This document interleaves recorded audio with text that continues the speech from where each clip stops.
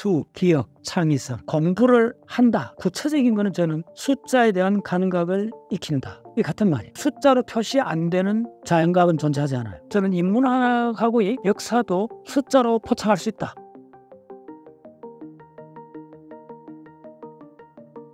공부를 잘하기 위해 숫자가 왜 중요한가요? 어, 제가 오랫동안 이렇게 공부를 하면서 이 수에 대한 민감도 이걸 좀 더 그 첫째 시간에 놀라운 만큼 이 수에 대해서는 오랫동안 제가 생각을 해봤어요. 제가 하는 게 그 미래부 옛날에 미래부 소속 공익사단법인이거든요.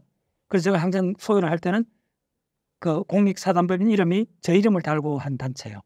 박문호 자연과학 세상이라는 공익사단법인이요. 처음에는요 고속터미널 강남 고속 부근에 그 설의 마을에서 사무실이 있었어요. 그러다가 한 5년 전에 양재 시민의 숲으로 그 부분으로 옮겼어요.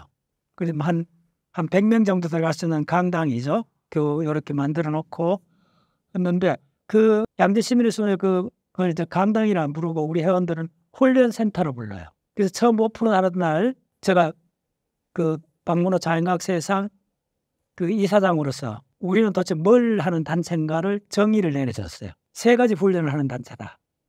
첫 번째, 수를 훈련하는 단체다. 숫자, 구체적으로 수에 대한 그 감각을 훈련하는 단체다.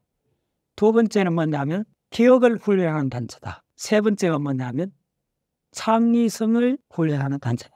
그래서 수, 기억, 창의성 요걸 자연과학의 여러 분야에 적용하면서 훈련하는 단체입니다. 그래서 저도 맨 처음에는 학습한다. 그 다음에 공부한다. 그 말을 오래 썼어요. 어쨌든 학습 단체니까. 근데 지금은 학습이나 공부 강도로서는 좀 어렵다. 그래서 훈련, 어, 해병대나 유격 훈련 받듯이 훈련하는 강도로 해야만이 기억으로 넘어간다. 그걸 알게 됐고. 그래서 맨 처음에 하는 훈련은 숫자 훈련. 그래서 숫자가 왜 중요한가? 뭐 너무나 모두 잘 직감적으로 느끼고 있지만은 사실 그보다 더 근본적인 거예요. 숫자가 맨 처음에 숫자가 엄청 중요하다고 해서 숫자로서 자기 철학의 바탕으로 삼은 사람이 있어요. 그게 바로 피타고라스죠. 그러니까 피타고라스는 우주의 기원, 우주는 뭘로 이루어졌는가? 그럼 뭐 탈레스 같은 이오니아 철학자는 물로 돼 있다.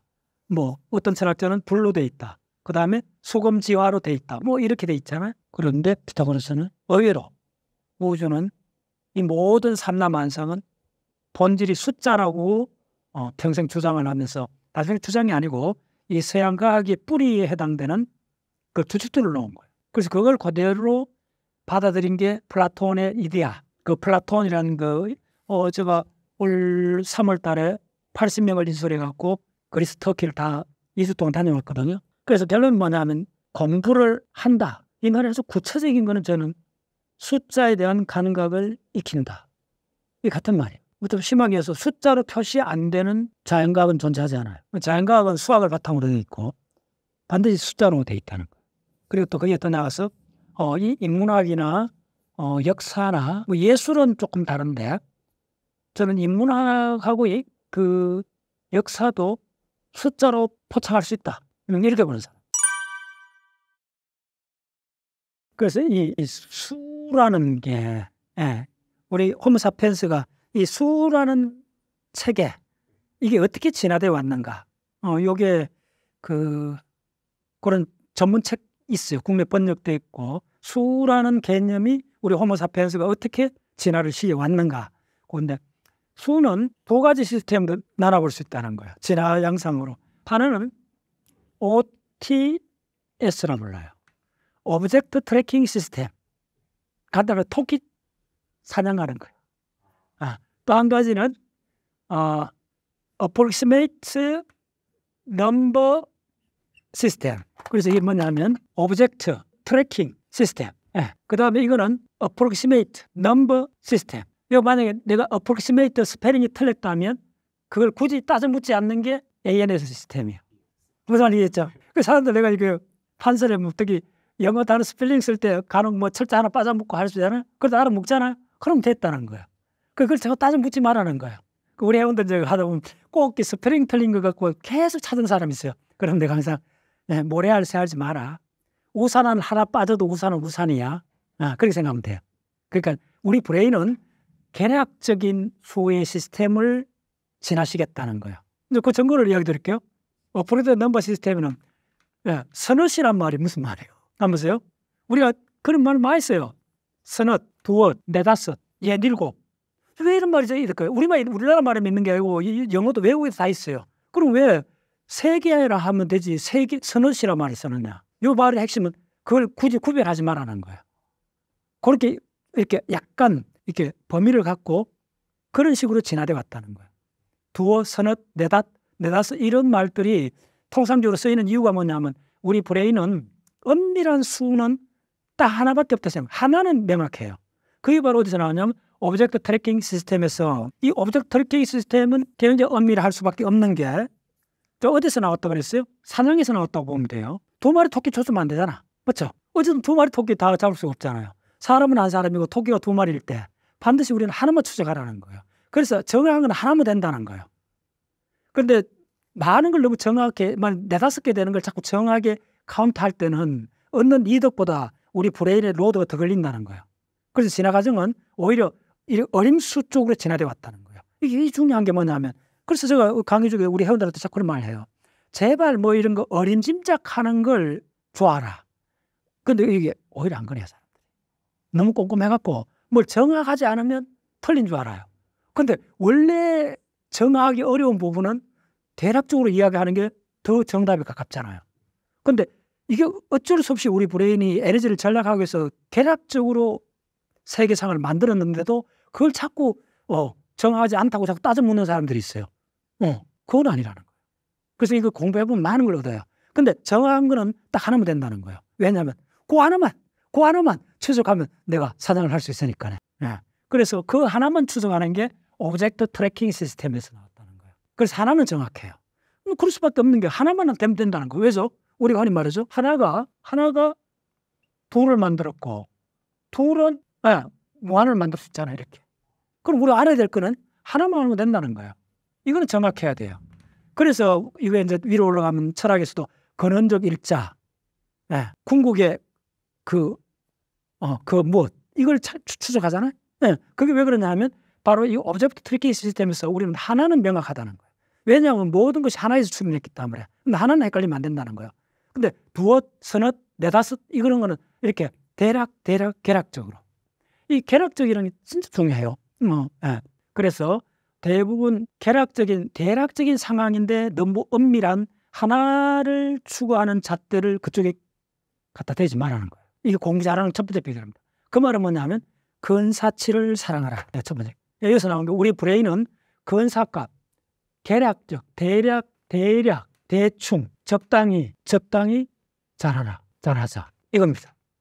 이걸 또 수위에 어떻게 지나되어 오는 걸 보면 우리는 엄밀하게 타는 것 딱 하나만 있으면 된다는 거예요. 대략적으로. 자, 대략적으로 한번 해보면, 어, 아, 굉장히 많아요. 그러니까, 그리고 우리가 실제로 필요한 거는 어림짐작이에요. 대략, 대략 얼마? 어, 며칠 전에 자고 통화를 했잖아요. 때 내가 시간이 얼마 걸려 물으면 나는 아는 거는 내가 한 시간 단위, 이건 뭐 두 시간 걸릴 거지, 한 시간인지 그런 거 이야기하면 되는데 10분 단위로 따지면 안 된다는 거 있잖아. 그래서 수는 두 가지 시스템에서 진화돼 왔다. 이게 이제 지금 수의 진화를 연구하는 사람들이 하는 이야기고, 그 다음에 이 수는 넘버 시스템은 수에 대한 개념은 수에 대한 개념은 어떻게 됐나? 맨 처음에 어, 맨 처음에는 어떻게 됐나 하면 음. 어, 감각 감각 범주로 시작을 했고 그 다음에 궁극적으로 뭐냐 하면 어, 이게 쪽으로 가는 거예요. 감각 범주에서 수 개념으로 바뀌는 거예요. 그러면 음, 간단히 말씀드리면 이 숫자란 개념은 뭘 몇 가지 속성을 갖느냐 하면 숫자의 개념의 중요한 속성은 어, 첫 번째 음, 탈경험이라는 거예요. 요 속성이 굉장히 중요해요. 경험에서 벗어난다는 거예요. 경험으로 원래 모든 걸 경험에서 시작됐는데 감각 이 감각 범주는 경험에서 오는 거잖아요. 경험에서 왔는데 만지거나 듣거나 냄새 맡거나 거기서 왔는데 이 수도 출발은 건데 몇 개, 구슬이 몇 개인가 만져보면 알잖아요. 하나는 카운트 해보면 알잖아요. 거기서 왔는데 나중에는 이 수 개념으로 가면 탈경험. 그 다음에 뭐가 되느냐 하면 기호에서 기호에서 기호로 작동한다는. 더 빨리 할게요. 기호에서 기호가 기호로 작동한다는 거예요. 아, 이 말이 좀 생소할 수 있어요. 그러면 이거는 퍼스의 기호 이론이라는 게 있습니다. 이 사람은 상징이 인류에 어떻게 출현하는가 세 단계로 봤는데 아이콘, 아이콘, 그 다음에 아이콘에서 인덱스, 그 다음에 심볼로 왔다는 거예요. 자, 아이콘은 뭐냐면 간단히 아이콘은 자 목욕탕 표시는 어떻게 해요? 이렇게 하면 되죠. 아, 이게 아이콘이에요. 아이콘은 반드시 가리키는 대상이 딱 있어요 옆에. 그 아무데나 쓰지 않잖아요. 바로 아, 그 다음에 인덱스 대표적으로 뭐 인덱스는 손가락 가리키는 거잖아. 이게 화살표예요. 그러면 이 화살표는 사실은 그 온도 눈금을 가리킬 수도 있고 방향을 가리킬 수도 있고 하기 때문에 대상하고 이 아이콘만큼 직접적으로 연결되어 있지 않은 거예요. 근데 대상은 있어요. 가리키는 대상이 있죠. 그 가리킬 때. 이게 인덱스예요. 그럼 symbol은 뭐냐면 symbol은 완전히 대상에서 자유로운 거예요. 대상에서 자유롭다는 말은 뭐냐면 자 A는 우리가 symbol이잖아요. 영어 알파벳 이제 이게 symbol이 symbol은 뭐가 되느냐 하면 이 symbol부터 이거 이걸 이제 뭐라 하냐면 기호라 그래 기호. 자 대상에서 자유로운 거예요. 자 A가 뭘 가리켜요? 대상이 자유롭잖아요. 어. 만약에 무슨 우리가 만약에 어, F라는 게 있다.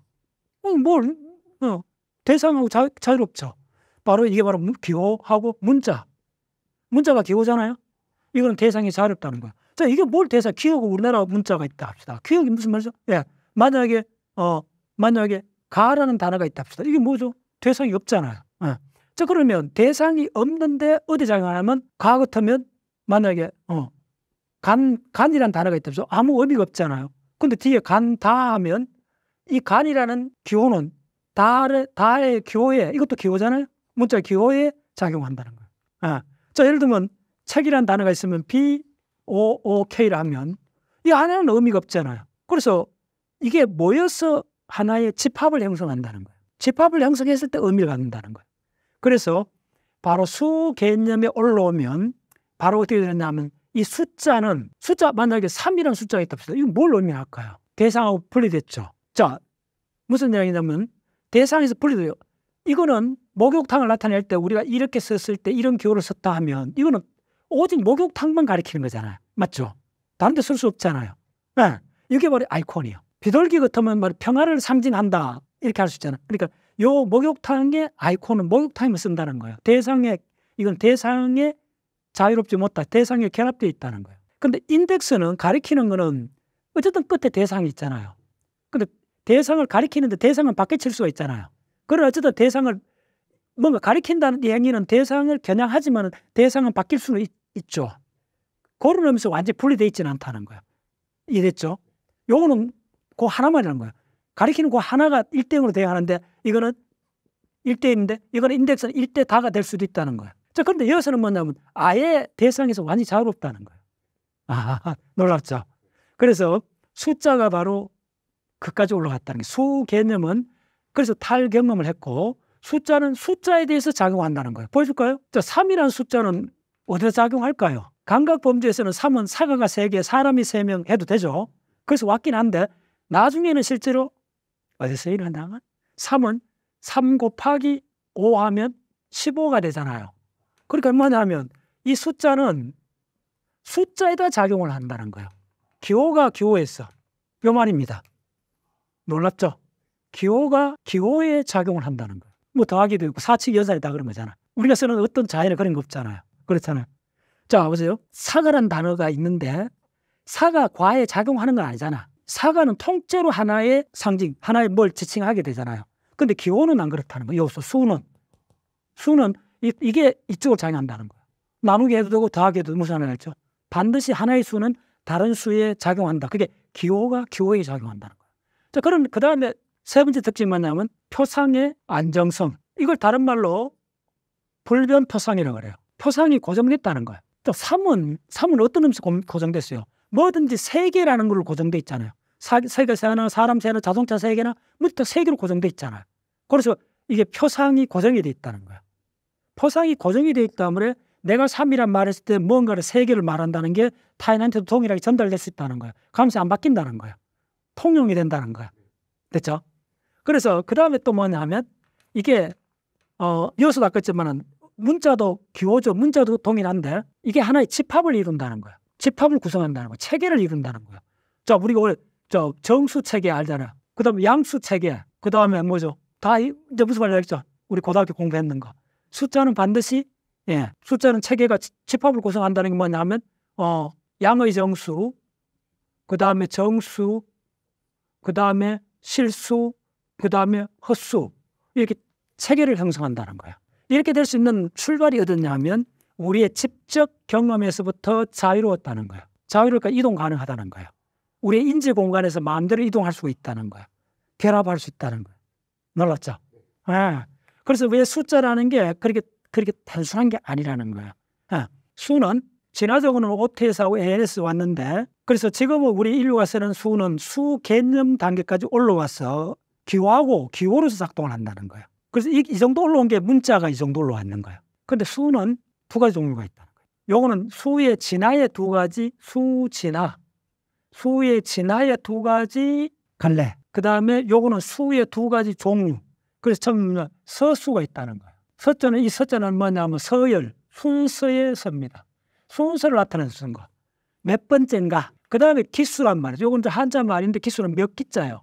도대체 뭐냐면 이거는 양을 묻는다는 거예요. 수는 어, 순서 몇 번째인가. 자 성적 순으로 나랬을 때 당신은 몇 등을 했는가. 그걸 하여튼 면하죠. 그거는 서수 어, 기수인데.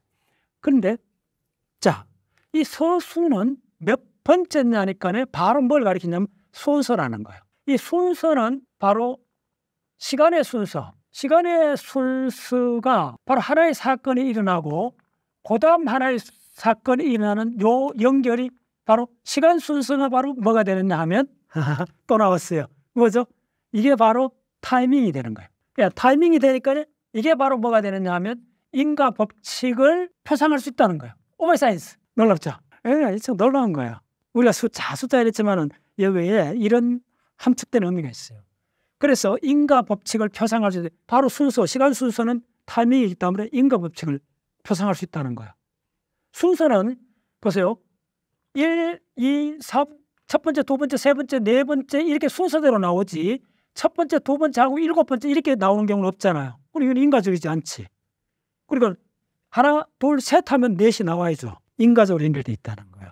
그래서 인과적으로 연결돼 있기 때문에 건너뛸 수 없다는 거예요. 그러니까 바로 타이밍이라는 거예요.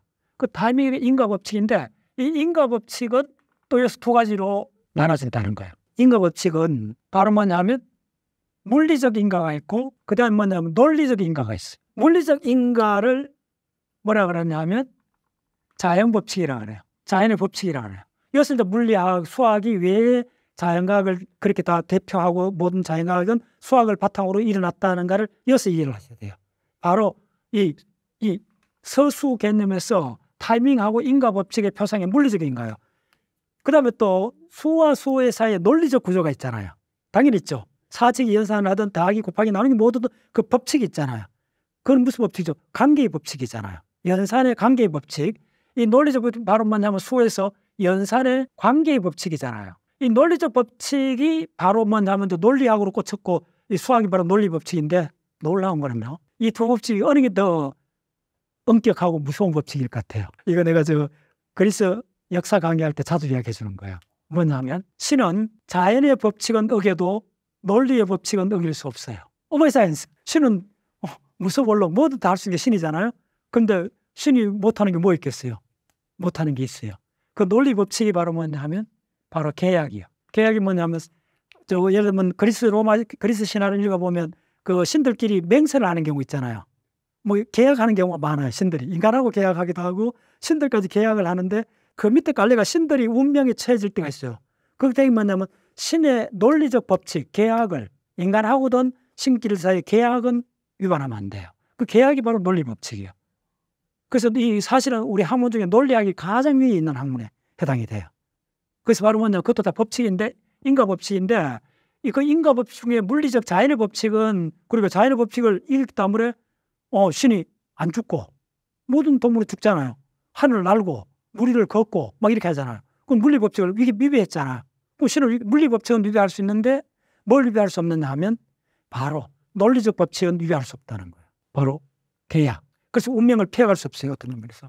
자, 그 다음에 기수는 또 뭘로 갖고 왔냐면 기수는 자, 이때 우리가 몇 개나 했을 때, 아, 요, 요 숫자, 요거 들어가는 요게 반드시 뭐냐 하면, 여기 반드시 뭐가 분류가 있어야 돼요. 무슨 말인지 하면, 자, 몇 개란 말은 이 몇 개란 말은 예 들어가면 반드시 뭐 해야 되느냐 하면 이게 어 사과든 혹은 과일이든 그 다음에 자동차든 그 다음에 동물이든 예, 개가 몇 마리인가? 자동차가 몇 대인가? 집이 몇 차인가? 그럼 이때 집 자동차 강아지 이렇게 됐을 때 그게 뭐죠? 그게 바로 뭐냐면 분류가 되고 분류를 했을 때 같은 분류끼리 묶어지는 이걸 뭐라 그러냐면 이걸 범주라 그래요 그래서 놀랍게도 이 키수는 키수는 뭘 낳느냐 하면 바로 범주를 낳아요 그래서 이 범주를 낳기 때문에 이 범주는 없고 그래서 서양 학문의 뿌리가 뭐냐 하면 분류학이요. 린네의 분류학이라 들어보셨죠? 식물 분류학. 그래서 린네의 식물 분류학부터 굉장히 엄밀한 1700년도 린네가 식물을 분류하기 시작했잖아요. 그 다음에 동물 개통 분류학, 분류학, 분류학이 이 자연과학이 가장 뿌리에 있는 학문이 되는 거예요. 왜냐하면 거의 수에서 나온 거예요. 몇 개냐 했을 때 도대체 뭘 말하느냐. 예, 사람 몇 명인가, 짐승이 몇 마리인가, 예, 꽃이 몇 그루인가? 했을 때 그걸 분류하는 거예요. 그럼 꽃 중에 만약에 음, 속시 식물이 얼마 몇 그루인가, 꽃식물이 몇 그루인가, 혹은 예, 한해살이 현화 식물이 몇 그루인가, 그다음에 나자 식물이 어떤가, 양치 식물이 어떤가, 다 분류를 해야 된다는 거예요. 어, 동물도 어, 포식 동물이 어떻고, 포유동물이 어떻고, 어, 어류 양수를 파충류 우리 중고등학교 배웠잖아요. 그래서 분류잖아. 분류를 하면 동일 속성을 가진 집단의 개수를 카운트한다. 이게 바로 몇 개냐의 본질이고 동일한 속성이 이 속성이 바로 뭐가 되느냐 하면 이게 개념이 되는 거예요. 자, 이 개념하고 범주 관계는 어, 정확해 드리면 이게 저 물그릇이 어떤 그릇이 있다면 예, 이 그릇이 있다면 이 그릇이 바로 범주에 해당되고 여기에 예, 맹물을 열 수도 있고 술을 열 수도 있고 여기에 물을 넣느냐 술을 넣느냐, 어, 뭐 포도주를 넣느냐, 독약을 넣느냐, 이 들어가는 이 들어가는 이 물질의 특징이 바로 개념이 되는 거예요. 그래서 범주하고 개념은 분리될 수 없는 거예요. 하나의 그릇이고 그 속에 들어가는 내용물이고 그 내용물의 특징이 개념이고 그 내용물을 담고 있는 그릇이 범주예요. 뭐 범주가 없으면 그릇이 없으면 덩어리진 그릇이 없으면 우리가 카운트를 할 수가 없죠. 이렇게 섞여 있고 헛뿌려져 있으면 카운트를 못 하죠. 그리고 범주가 일어난다는 거예요. 범주가 일어나기 때문에 몇 개냐라고 카운트할 수 있다는 거예요. 그러니까 이 두 개가 바로 직감적으로 수 이게 바로 두 개 자연과학의 뿌릴 수밖에 없다는 거예요. 그래서 인간의 지능이 진화해오는 과정이 크게 보면 이렇게 보면 돼요. 맨 처음에 미토스, 그 다음에 로고스, 그 다음에 science 이렇게 나왔던 거예요. 이 미토스가 바로 신화요. 이게 바로 로고스가 논리요. 로직이란 말 하잖아요. 그 다음에 뭐 지올로지 뭐 무슨 무슨 학, 학 우리 천문학 뭐 지질학 학 할 때부터 이게 전부 녹았어요. 그 다음에 이게 과학이죠. 이런 식으로 진화되었다고 볼 수도 있고 또 하나는 뭐냐면 인류가 맨 첫 번에는 어 이게 뭐냐면 초월적 자연에 의지했던 거예요. 번개나 폭풍이나 이런 자연에 대한 두려움 이게 이제 초월적 자연 현상에서 그 다음에 뭐가 나오느냐 하면 어 바로 합리적 사고가 출현해요. 또 요거는 서양산을 해보면 세계 국가와 세계 종교, 종교가 결합한 형태로 됩니다. 그리고 로마 제국 같으면 바로 기독교, 그 다음에 인도의 마우리아 왕조 같으면 불교. 대충 무슨 알겠죠? 거대 제국이 생기면 거대 제국의 이데올로지, 그 사상적 기반이 세계 종교가 출현해서 요게 합쳐진 게 합리적 세계관이 출현해요. 대표적으로 기독교 토마스 아퀴나스 같은 사람이 그쪽 합리, 그 종교적 바탕으로는 합리주의가 세상을 설명하려고 했던 거예요. 그래서 이렇게 되는 거예요. 이 바로 로고스의 세계가 이렇게 늘어온 거예요. 근데 이 science는 당연히 이거 하고 이걸 통과했는데 science는 바로 뭐냐면 계량주의. 가장 중요한 science가 계량주의라는 거예요. 계량주의란 말이 뭐냐면 science는 뭐 긴 말할것 없이 측정할 수 있느냐. 측정이 핵심이라는 거예요. 어, 우리 공대생들은 잘 알아요. 도대체 그게 뭐냐? 그 측정값을 재현할 수가 있느냐. measurement. 그래서 바로 측정값. 그래서 수나 그래프로 표시해야 된다는 거야. 그렇죠? 그래서 이렇게 가는 과정에서도 인간 지능에서도 맨 마지막이 이 수라고 보면 돼요. 수와 그래프라고 보면 돼요. 그래서 어, 요약하면 이런 이야기예요. 그래서 이 수라는 게 예, 수라는 게 뭘 만나요. 쭉 만나는 과정에서 수하고 숫자하고 예, 숫자하고 직선이 만나면 어떻게 될까요? 바로 수직선이 되죠. 이렇게 해갖고 이거 알죠. 바로 이게 눈금면 수, 예, 수직선이 되는 거예요. 그래서 이게 바로 수하고 직선이 만나면 예, 이게 벡터를 형성해요. 그 다음에 숫자하고 네, 도형이 만나면 네, 바로 기하학이 시작되죠. 기하학도 이제 미분기하학 쪽으로 올라가면 이게 이제 복잡해져. 두번 하겠습니다. 숫자하고 기호 도형하고 이 도형이 평면이면 바로 직각 좌표기가 나오죠. 이 평면이잖아요. 자, 이, 이 평면에 아까 이 수직선에서 눈금을 했죠. 우리가 중학교 때 배웠던 좌표가 나오죠.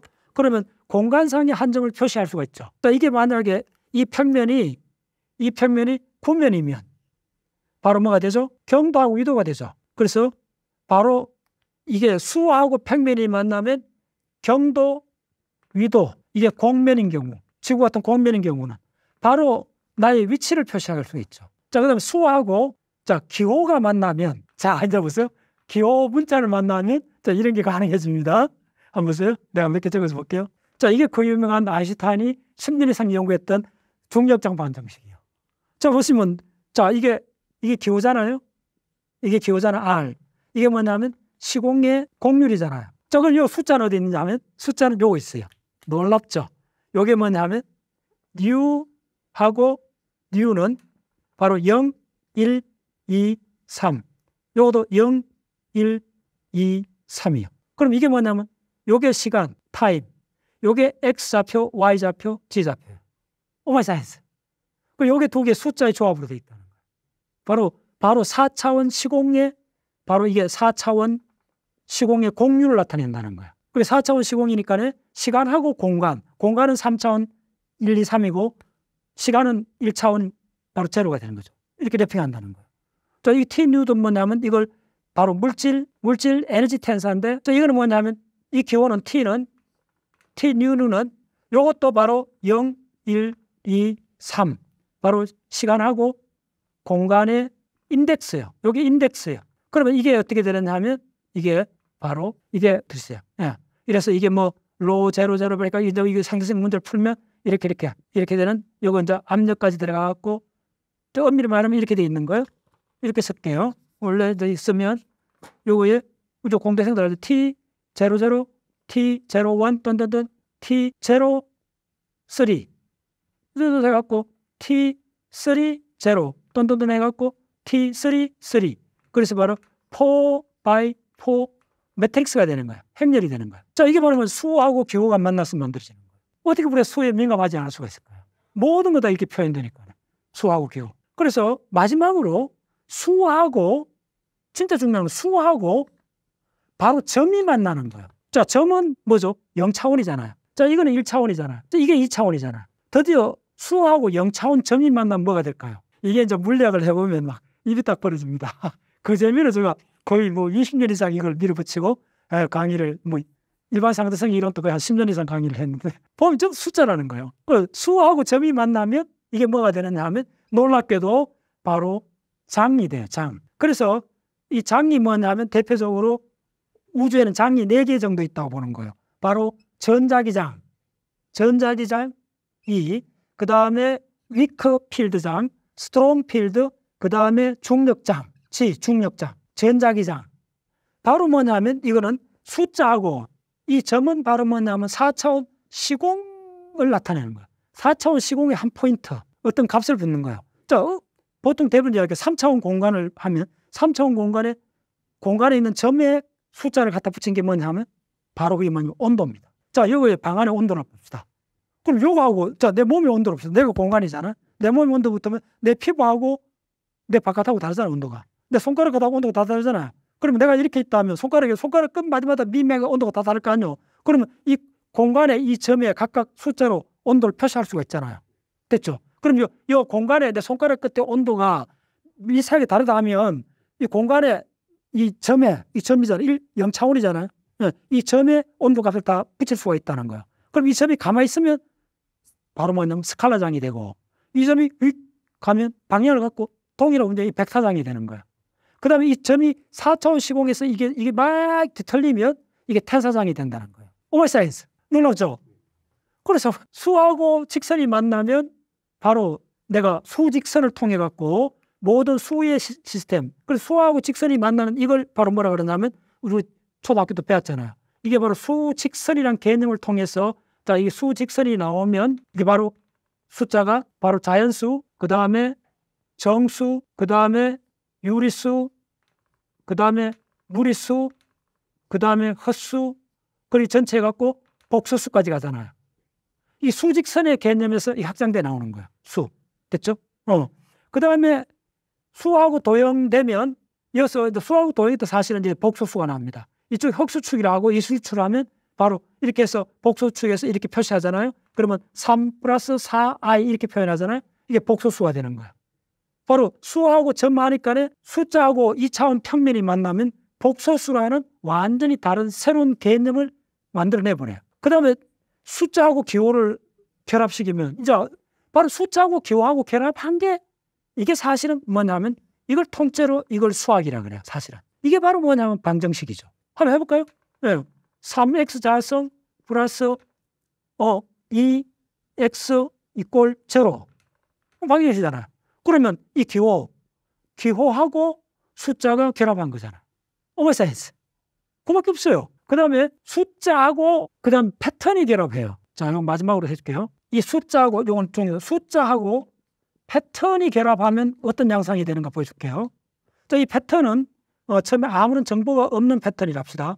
그러면 이 바둑판 같은 거 있죠. 여기에 숫자하고 패턴인데 만약에 이 바둑판 같은 이 한 칸에 기호를 넣을 수가 있다면 ABCD를 넣을 수 있다면 한번 넣어볼까요? C를 넣고 O를 넣고 F를 넣고 하면 뭐가 되죠? 자, 숫자를 넣어볼게요. 여기다 6번, 6번, 8번, 9번 이렇게 되잖아요. 주기율표가 되어버리는 거야. 오버사이즈. 숫자하고 패턴이 들어가면 주기율표가 돼요. 네. 그래서 우리가 수에 대해서 사람들이 너무 그렇게 생각하면 안 된다는 거예요. 전체 다요. 그래서 과학을 공부한다는 것은 저한테 물으면 숫자에 민감해진다. 그밖에 없어요. 숫자에 민감해진다. 그러면 바로 숫자에 민감하면 궁극이 뭐냐면 바로 수하고 교학이라는 수학을 하게 되고 그 다음에 수하고 점이 만나는 이게 바로 뭐냐면 필드가 되고 이 필드의 숫자가 어 그냥 자연수 자 이렇게 이게 이렇게 있다 합시다. 이게 고정된 온도 값이에요 공간에.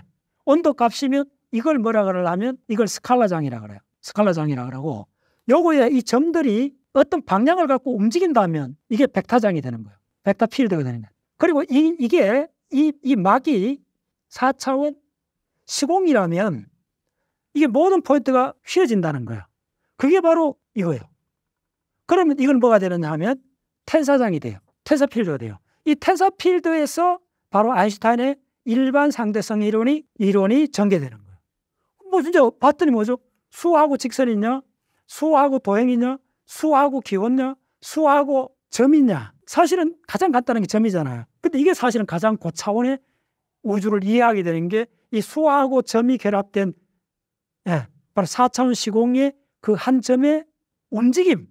여기 점의 움직임이고 이 점이 움직이는 그 휘어가는 경로, 4차원 시공의 그 공면, 그 공면을 따라가는데 이 공면이 바로 R이라는 거예요. 그래서 이게 바로 이게 이걸 다른 말로 중력장 방정식이라고 해요. 1916년에 발표했나. 그 유명한 우주까지 다 알게 된 거예요. 다시 요약해 드리면 이 수라는 게 자연각 전체를 그 자연각이라 적고 수라고 읽으면 돼요. 그래서 자연각을 뭐 90대까지 100살까지 하고 싶으면 또 이게 수라는 개념은 나이가 들면 빨리 잊어버려요. 그래서 수라는 개념은 바로 뭐냐면 반드시 수 개념은 훈련을 해야 된다는 거예요. 훈련의 결과라는 거예요. 수 개념. 그래서 공부한다는 거는 저한테는 90%가 숫자 훈련이에요. 숫자 훈련. 숫자의 훈련이요. 그이 숫자라는 게 보세요. 일반 상대성 이론까지 다 그걸로 돼 있다는 거예요. 그래서 우리가 OTS나 AS를 쭉 해갖고 결국은 이 수 개념을 올랐기 때문에 기호가 기호를 지정해 주기 때문에 인류는 마지막 최고의 바로 문자가 뭐냐면 언어가 뭐냐면 저는 이렇게 생각해요. 1차 언어가 구두, 말소리. 자, 2차 언어가 바로 문자. 3차 언어가 3차 언어를 쓰는 사람을 나는 과학자라 봐요. 이게 바로 되는 3차 언어가 인덱스 언어예요. 지표 언어예요. 인덱스 언어가 뭐냐면 여기, 여기 말하는 이 인덱스가 아니고 이때 인덱스는 바로 R, 뮤, 뉴 했을 때 일반 상대성 이론의 이 인덱스를 말하는 거예요. 이거는 예, 보통 과학이 아니고 4차원 시공의 공면을 우주 전체를 이야기할 때 들어가는 언어는 바로 인덱스 언어라는 거예요. 인덱스 문자, 인덱스 기호라는 거예요. 그리고 이것도 바로 수 개념에서 나왔다는 거예요. 바로 여기서 말하는 이게 뭐죠? 바로 시간하고 공간이고 이거는 0, 공간은 x, y, z가 있으니까 1, 2, 3으로 매핑했다는 거예요. 그러니까 이게 4잖아요. 그4 곱하기 4니까 실제로 이 방정식은 16개의 방정식인데 16개의 2차 미분 방정식인데 10개의 독립된 2차 미분을 풀어야 돼요. 멍하게 어렵습니다. 그래서 무슨 이야기냐면 바로 우주를 매핑할 수 있는 것은 숫자다. 그 숫자는 자연적으로 우리가 갖고 있는 능력이 아니라는 걸 깨달아야 돼요. 왜 그러냐면 우리는 본래적으로 어, 어프로시메이트 넘버 시스템을 지나시겠잖아요. 개락적인 거잖아요. 부선하게 애매하다는 거예요. 그러니까 그걸 엄밀하게 쓰려면 엄청나게 훈련을 해야 된다는 거예요. 그리고 우리한테 주어진 유일한 수개념은 딱 하나밖에 없다는 거예요. 하나라는 거. 하나를 추적했기 때문에. 그래서 이 하나가 궁극적으로 바로 바로 근원, 근원적 일자까지 올라가는 거예요. 근원적 일자를 미리 상정한 거, 상정해서 상정했다. 그걸 그냥 믿으면 되는 거가 믿음 쪽으로 가는 이게 종교가 됐고 이 근원적 일자, 근원적 일자가 상정을 하지 않고 근원적 일자가 있다고 가정을 하고 있다고 가정한 시스템이 가정을 하고 논리적으로 근원적 일자를 가정했는 걸 증명하는 과정을 철학이라고 하고 그걸 측정을 통해서 측정을 통해서 근원적 일자를 찾아가는 과정을 과학이라고 그래서 여기서 말하는 이 object 시스템은 object 시스템은 바로 다른 뭐냐면 둘이 아닌 이 하나 하나만이 분명하다는 거예요. 나머지도 분명한 게 아니라는 거예요. 두 마리 토끼 쫓으면 안 되니까 하나는 분명하다는 거예요. 그래서 하나, 근원, 기원, 태초의 순간 이게 우리 홈 사피엔스들 깊이 각인된 게 이 수의 진화에 처음부터 그렇게 각인이 돼 있다는 거예요. 그래서 그게 바로 이 근원적 일자를 이게 바로 근원적 일자다. 이 근원적 일자를 미리 상정, 미리 있다고 그냥 주어졌다고 생각하는 게 종교고 이걸 찾아갔는데 근원적 일자 반드시 있어야 돼요. 왜냐하면 모든 존재는 근원적 일자에서 나왔기 때문에 그러니까 그걸 있다고 가정을 해야 된다는 거야. 안 믿으면 가정을 하면 그게 있다는 걸 증명하는 과정이 논리로 증명하는 게 철학이고 실제로 측정해서 찾아내는 걸 과학이라고 해요. 수라는 게 이만큼 뿌리가 있습니다.